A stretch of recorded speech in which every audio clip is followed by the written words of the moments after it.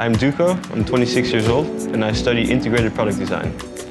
And I think in my studies you have a very uh, nice balance between, on one side, the out-of-the-box creativity, and on the other side, the factual, how do you produce a product, and is it actually feasible?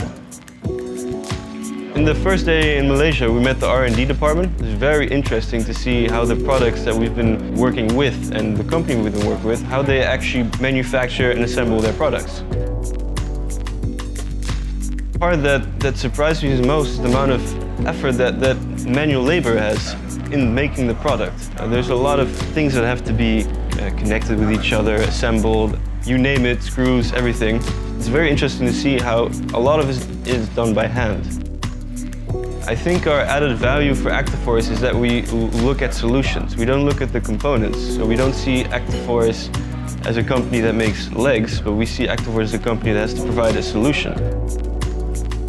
The best outcome for this project would be that, of course, Actiforce will produce our product, but also to see that the product we have designed is actually being used by the people we've designed it for, and that they can use it in the way that we thought of.